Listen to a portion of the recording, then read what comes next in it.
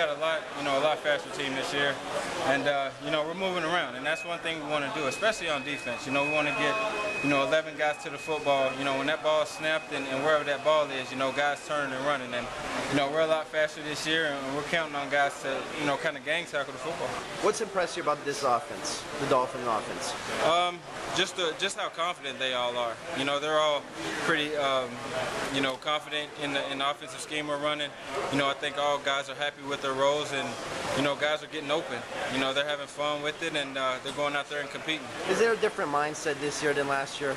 Oh, definitely. I mean, we got new mindset. I mean, I could tell just from, you know, the first day that we were in the locker room. You know, it, it was just different. I mean, it wasn't. Uh, it, it was much more, uh, you know, camaraderie in there. Um, you know, a lot of uh, guys going at each other offensively and defensively. And, and, last year you didn't see that as much. But uh, you know, you can tell uh, guys got their swagger this year on both sides of the ball, and it's been fun.